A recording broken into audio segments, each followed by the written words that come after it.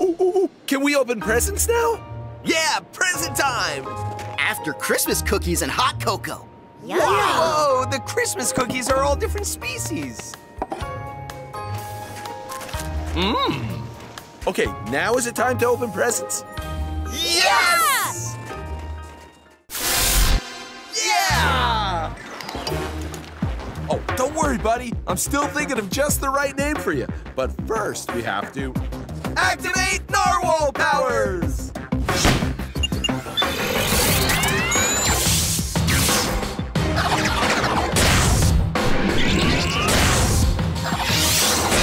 Awesome! Aw, there's no horn! Okay? Aviva, there's no horn! What are narwhal powers without a horn? How could you forget the horn? Maybe you guys are baby narwhals. They don't have horns either. I told you not to rush me. I thought the DNA from the narwhal when you touched it would be sufficient to grow the horn. Apparently not. Since the horn is such a unique feature, we should do more investigations. We have to look more closely at the horn and at how it grows. I need more data, which means you guys have got to get out there and make some observations. But it's gonna be so embarrassing swimming with narwhals in narwhal power suits with no horns! Deal with it. Good luck, Kratt Brothers! Come on, bro. Let's figure out the puzzle of the narwhal horn. Yeah, and get the info that will grow horns on our narwhal power suits. Aha! I had no problem with the horns on my cupcakes. Mmm, those smell good. Aw, we're getting jostled a lot. That's what I was saying. In these narwhal power suits, as boy narwhals without horns, we're not getting any respect. Ow! I think you're right, bro. Hey, wait a second. The horn isn't growing out of the narwhal's forehead. It's growing out of the left side, above his mouth. Ow! This guy's too. Right. It's actually growing out of the upper jaw and protruding through the skin. It's a special tooth that grows super duper extra long. So if a narwhal horn is actually made of a tooth, then this horn is really a tusk! Thank you. So that's where the mistake was. No wonder that horn activation malfunctioned. Because technically, that horn isn't a horn at all. It's a tooth! A tusk! Of course, tusks. Tusks are teeth that protrude from the mouth like walrus and warthogs, or through the cheeks like elephants and narwhals.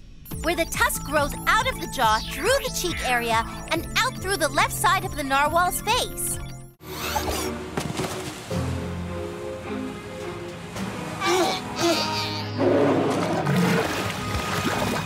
Gotta slow him down with walrus power. Flippers, don't fail me now. Tusk time! Huh! Flipper power to the max!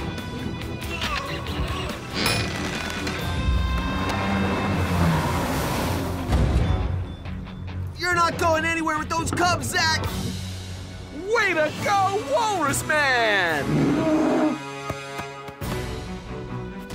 Oh no. They think their kids are in danger from each other. Whoa! It's a rarely seen battle of Arctic Titans! Forget dancing babies. A big battle is much better. All right, the polar bear has the advantage here. Moving really well, like she's dancing on ice. But the walrus is clumsy on land like a giant blubber balloon. With no legs, she's gotta drag herself back to the water. Can she make it before the polar bear? Oh! Whoa, now the tables are turned. Even though the polar bear's a good swimmer, the walrus is built for underwater. Down here, the walrus is pure fluid swimming power. With the tusk, she's pulling the bear under.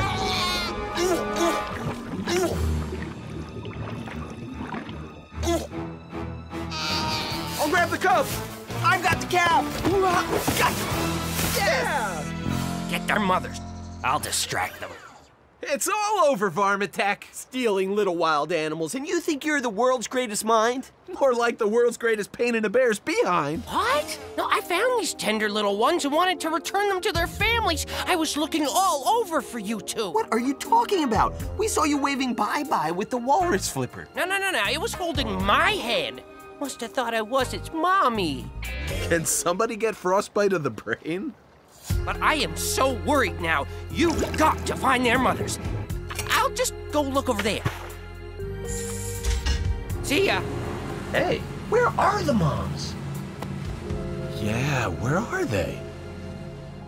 Oh, perfect! Put us down on that ski hill, Dabio. Yes, Donita.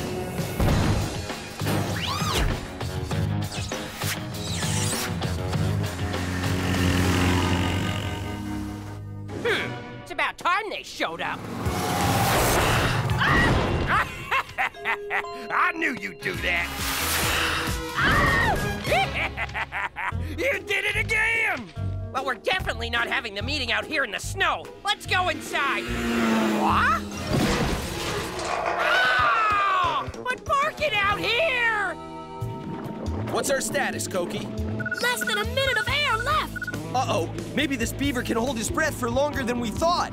Um, Chris, Martin, what's that dark tunnel? I don't know, but he's heading up. Prepare to surface.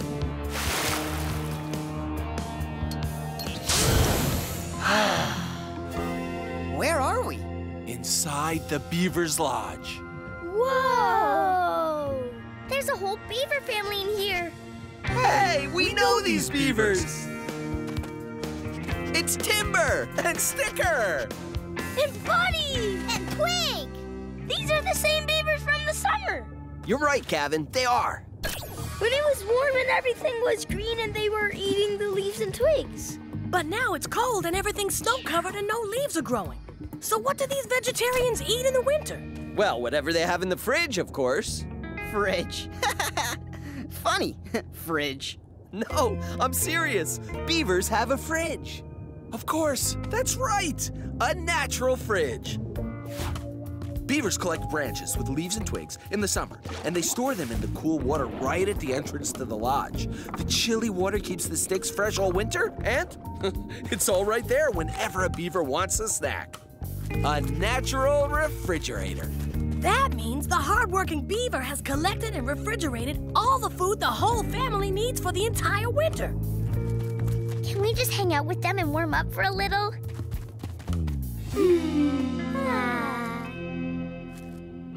This year, once and for all, we've got to find a way to get rid of the wild rats. Uh, aren't they called Wild Kratts? Whose side are you on? I am so sick of them helping the animals. It always ruins my inventions. And my meals. That crab would have been a culinary delight. I did not particularly care for the time they let the Dracos fly from my jewelry either. Uh, don't those lizards glide, not fly? Whatever, Dabio. They, they are just so annoying. So's your whining. I'm not a whiner. Yes, you are, Zach. I'm not. Oh, yes, you are. I'm... Ah, my Finders Keepers collection. if someone loses it and I find it, I get to keep it. ah, but it is missing something. I don't have anything in here from those annoying wild rats. Zachbot, are you in position? Well then, improve signal.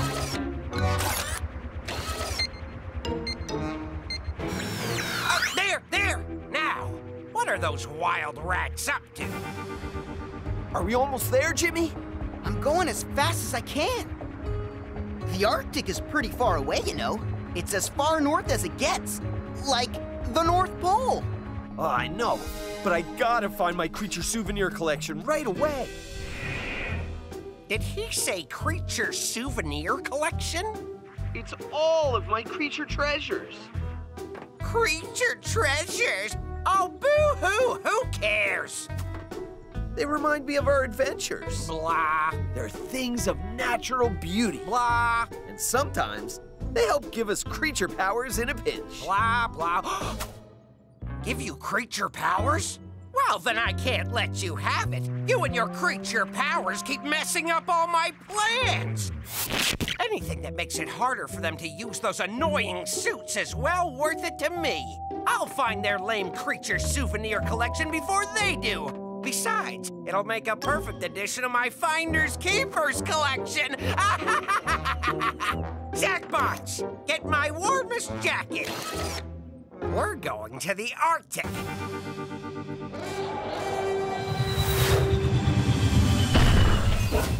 Uh-oh! It's winter now. How are we gonna find Chris's creature souvenir kit under all this snow and ice? Well, this is what the Arctic looks like most of the time. It's the harshest cold weather climate on the planet. My collection is somewhere under that snow, and we've got to find it. Okay, so where exactly were you when you used it last? Well, okay. Down in that valley was where we helped the muskox herd fend off the wolf pack. Remember that? Oh, yeah. The musk oxen did their patented defensive circle to keep the wolves at bay. And In the middle of the fray, it rose up in front of me. A piece of shed muskox fur. if I could catch it, it'd forever remind me of this incredible creature moment. Did you catch it? Not exactly. Why not? Well, just as I was about to grab it, I kinda sorta got in the way of a muskox. Aww. But the fur floated down right on my face. So you got the fur. Did you put it in your creature souvenir kit? No, not then. I had to stay focused on the battle. But after we fended off the wolves, I headed back to the den to see Baby Tooth. It was later that day that I put the piece of fur safely away. I put it right beside the baby tooth that baby tooth the Arctic wolf pup gave me. And that's what you were doing when I called you at the den. Come in, Green Wolf Pack. This is Blue Ox here. We've got a battle brewing here, bro. Are you talking about what I think you're talking about? Oh, yeah. Headbutting battles of epic proportions. I'm on my way! Oh, I can't miss that!